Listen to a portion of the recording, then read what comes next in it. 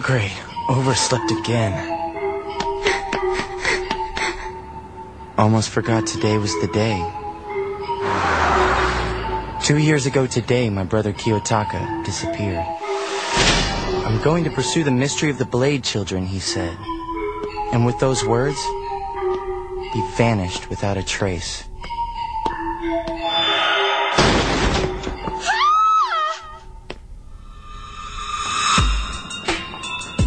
Oh no! Are you okay? Come on, young lady, say something. Hello? Talk about dangerous. Guardrails missing. Who is she? Did you do this? Did you push her off there?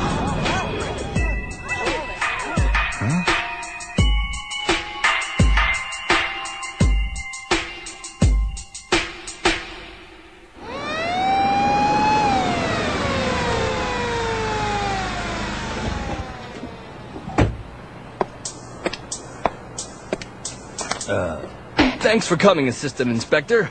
Enough talk, let's hear it. Yes, ma'am. Uh, the injured girl's a second-year student at Tsukiyomi Academy, Sayoko Shiranagatani.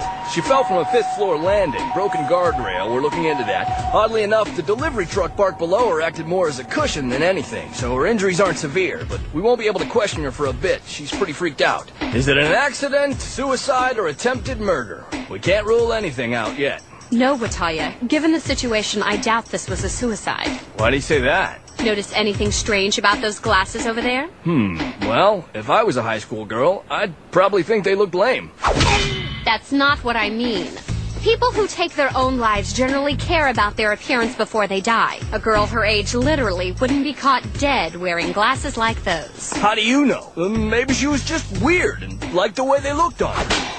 Open your eyes and tell me if she's wearing them in her school ID. This girl doesn't normally wear her glasses. She only puts them on if she has to. You're right. Wouldn't be the first time. Now start using your brain, detective. Sorry. Professor Sonobe, with your skilled educator's eye, do you believe you saw the freshman student Ayumu Narumi commit this horrid crime?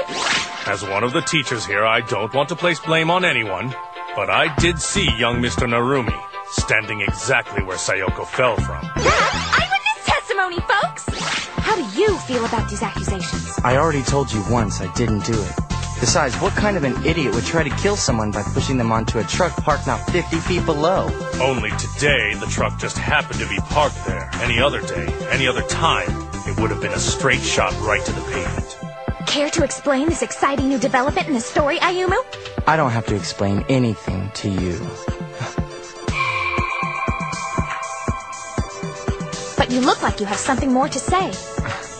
Yeah, who are you anyway? I am a sophomore at the Tsukiyomi Academy, 3-9 grade point average and head of the school newspaper, Hiyono Yuizaki! Enough, young lady.